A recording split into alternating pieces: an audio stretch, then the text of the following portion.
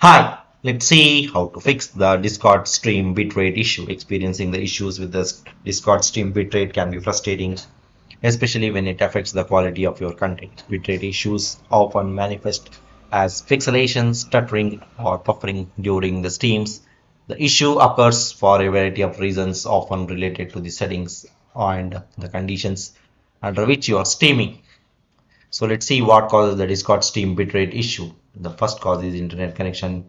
The second cause is network congestion. The third cause is incorrect bitrate settings. The fourth cause is server location. Fifth cause is hardware limitations. So let's see how to fix the Discord stream bitrate issue. The first method is check your internet connection. Make sure that you have a proper internet connection with very good speed and a very good bandwidth. If you are having a poor internet connection, try to reset your router to the modem. That will fix any kind of bugs or the glitches present in your internet connection.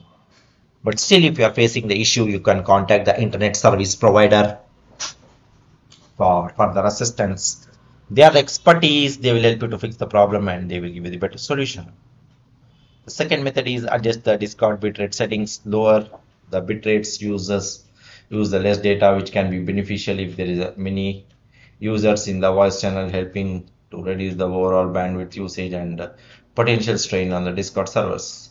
For lower bitrate, open the Discord, click on the voice channel name, navigate to the bit bitrate and slide overview tab.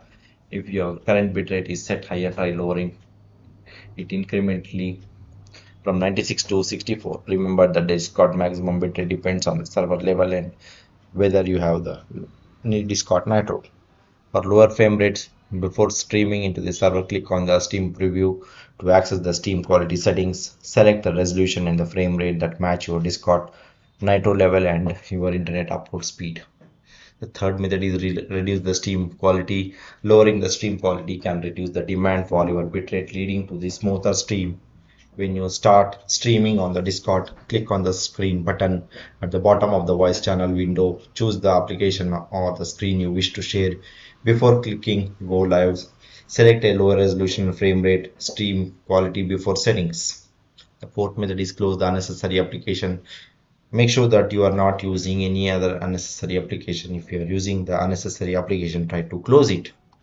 The fifth method is update your network and the graphic drivers.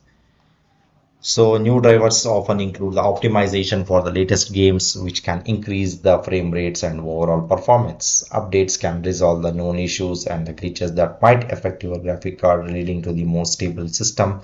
Outdated network drivers can cause the various connection issues. Visit the network adapter manufacturer website to download and install the latest drivers. Okay, so in order to do that, follow these steps sequentially one by one. The sixth method is uh, optimize the Discord's advanced video codec settings. Disabling the advanced video codec settings is an extra feature that increases the bandwidth and the GPU RAM usage to get the seamless experience. If you have issues with the streaming, then disabling the settings fixes the issues in the discord go to the user settings voice and video advanced section disable any experimental video codecs that may be causing the issue. The seventh method is this clear the disk caches clearing the caches will remove the temporary files and improve the overall performance of the application. Make sure the discord is completely closed and not running in the background. Open the run dialog. Select all the files in the cache folder and delete them right click on the recycle bin to empty the trash. Eighth method is uninstall and reinstall the Discord app. If all else fails, try uninstalling the Discord app and then again you can reinstall it by downloading from where you are downloaded previously. That will fix any kind of bugs or the glitch present in the application or the system. Download the Discord app, uninstall the Discord app, clear remaining Discord files and then you can install it.